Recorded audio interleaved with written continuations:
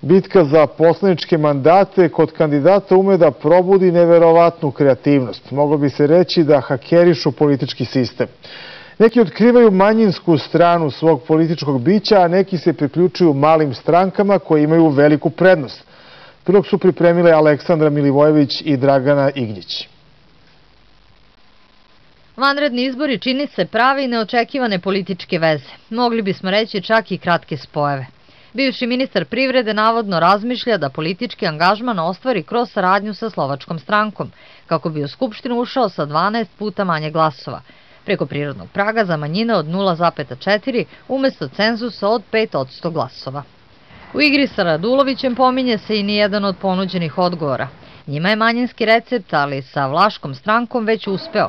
2012. osvojili su jedan mandat, iako u stranci tada Vlaha nije bilo. Ovoga puta, za razliku od prethodnog, će na listi zaista i biti ovaj, veliki broj Vlaha, e, koji će, vidjet će se po rezultatima glasanja ovoga puta mnogo masovnije glasati, jer su oni videli umeđu vremenu da pored toga što smo mi pro forme registrovani tako da smo i uradili što smo više mogli za Vlahe, neki su čak od njih baš konstatovali najviše od svih stranaka.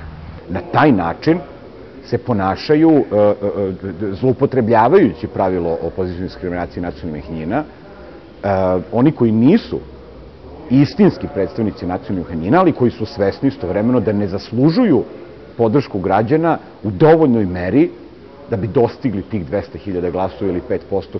To bi se moglo nazvati hakerisanjem političkog sistema, dovijenjem. Slično je postupio i Boris Tadić, koji je osnivanje stranke krenuo kada je kampanja već počela – Možda su imenu liste to ne čita, ali u registru političkih partija jasno piše da se Tadićeva Nova demokratska stranka zapravo utopila u zelene, osnovane još 2007. Ovlašćeni zastupnik pred državom je Ivan Karić. Pred zakonom, dakle, on je lider, iako je svima jasno da koaliciju vodi Boris Tadić. Zakon ovo ne zabranjuje. Hakerisanje političkog sistema, naročito kada su manjine u pitanju, smeta onima koji politiku shvataju ozbiljno. To što se dogodilo na prethodnim izborima kada je jedna očigledno nemanjinska lista